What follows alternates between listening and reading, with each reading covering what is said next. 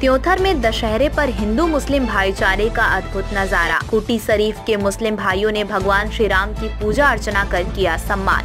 नमस्कार, मैं हूँ आपके साथ अंजना और आप देख रहे हैं द खबरदार न्यूज़। तो चलिए बढ़ते हैं आज की बड़ी खबर की ओर।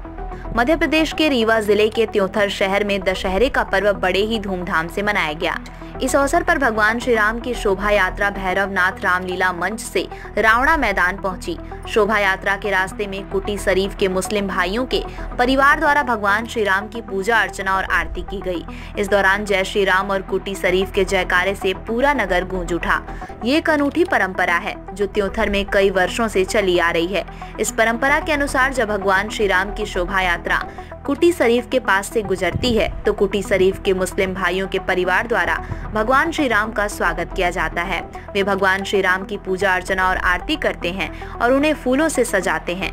इसके बाद ही भगवान श्री राम का रथ रावणा मैदान की ओर आगे बढ़ता है। कुटी शरीफ के मुस्लिम भाइयों का कहना है कि वे भगवान श्री राम को सभी धर्मों के भगवान के रूप में मानते हैं। वे कहते हैं कि भगवान श्री राम का सम्मान करना उनकी संस्कृति और सभ्यता का हिस्सा है। रामलीला मंडली के अध्यक्ष रामचंद्र सिंह ने कहा कि त्योथर में हिंदू मुस्लिम भाईचारे की परंपरा एक अनमोल धरोहर है। उन्होंने कहा कि यह परंपरा हमें ये सिखाती है कि सभी धर्मों के लोग एक साथ रह सकते हैं और शांति और भाईचारे से रह सकते हैं। त्योथर में दशहरे के पर्व पर हिंदू मुस्लिम भाईचारे का अद्भुत नज़ारा देखने को मिलता है। ये परंपरा हिंदू मुस्लिम एकता का एक प्रतीक है और ये हमें ये सिखाती है कि सभी धर्मों के लोग एक साथ रह सकते हैं और शांति और भाईचारे से रह सकते हैं। त्योथर शहर में हिंदू मुस्लिम भाईचारे की परंपरा कई सालों से चली आ रही है। इस परंपरा को बनाए रखने में दोनों समुदायों के लोगों का महत्वपूर्ण योगदान है। त्योथर शहर के मुस्लिम भाइयों ने हमेशा भगवान श्री राम की पूजा अर्चना में हिस्सा लिया है और उनका सम्मान किया है। इसी तरह हिंदू भाइयों ने भी मुस्लिम भाइयों के त्योहारों में बढ़ चढ़कर हिस्सा लिया है।